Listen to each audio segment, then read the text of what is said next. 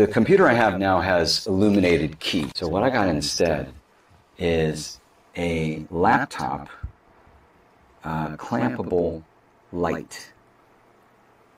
See, I bought it before I got this laptop. And this laptop has um, self illuminated keys. But as you can see, right here with this external keyboard on my work laptop, those keys are not illuminated. Those are uh, light that you can just clip to the top of your laptop. Now here, I instead I got a cabinet door handle. The light is actually plugged into um, a phone charger and it receives power that way. Um, same thing with this one.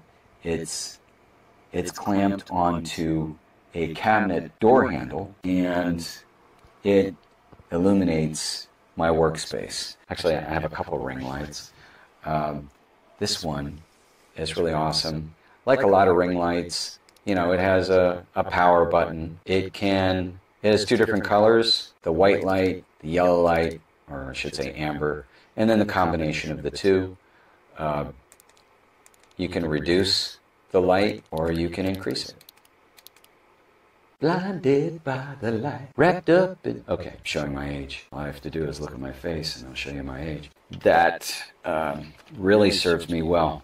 Now, these camera lights, got a couple of these, they are actually, um, it's the best way to put this, they can be, you, they, they can either be battery powered or they can use the uh, plug-in power. Right now, they're on plug-in power. Uh, they've got a, a quick release, and you can put them on. They they came with um, their own little light stands, like kind of like tripods, but they're light stands. So they came with um, those, and of course batteries, and uh, they're really awesome. I love having them. Um, they're pretty handy. I they only do uh, one color and at different brightnesses which is fine for my in, in studio work. If you have any questions, let me know. Link in the bio.